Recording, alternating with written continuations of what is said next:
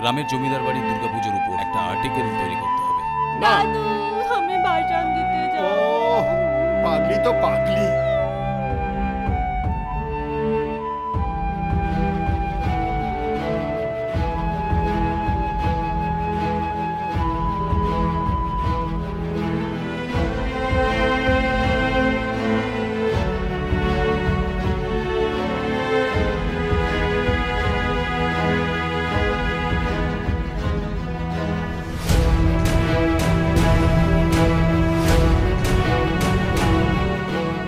মহালয়া না বাবা হ্যাঁ মহলায়া কিন্তু আ- আ- আপনি দেখবে তাকে